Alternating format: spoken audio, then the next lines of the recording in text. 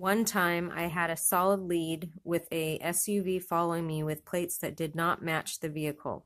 The detective assigned to that case refused to proceed. I moved to Los Angeles in December 2014. A neighbor by the name of Gina Sexton Gum proceeded to aid the syndicate.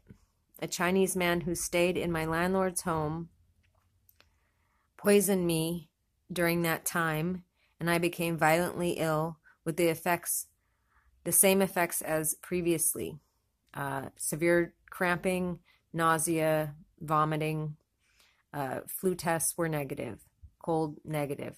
When I was given anti nausea medication, after a few days, I was able to eat again. When moving to 500, 5055 Lankershim Boulevard. I observed members of the Armenian Mafia sitting outside my apartment.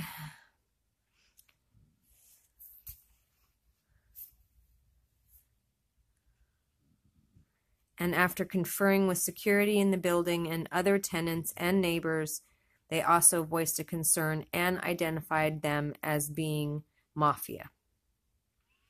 These men, particularly a man named Avik, who owns his own car service on on paper claimed to be Uber drivers, even though Avik would sit outside my complex for 16 hours straight. I called the police multiple times. While living at 50 no 4055 Lankershim, my passport and birth certificate, spare car key to my car, and the registration and title to my car were all stolen.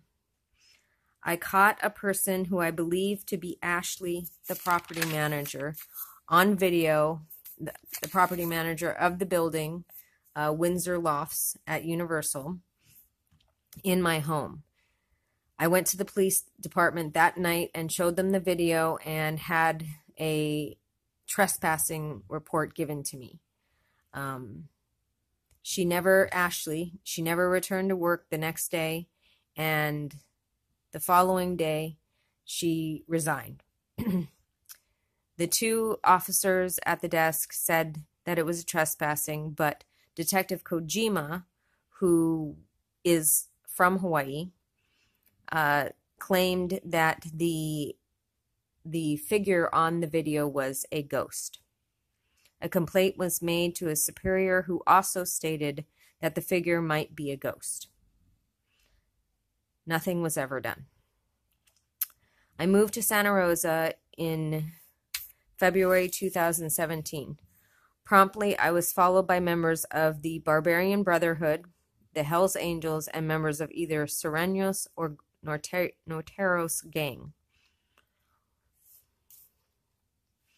A man living across from me on Parkhurst Drive, a Hawaiian who worked for Day Wireless, broke into my home.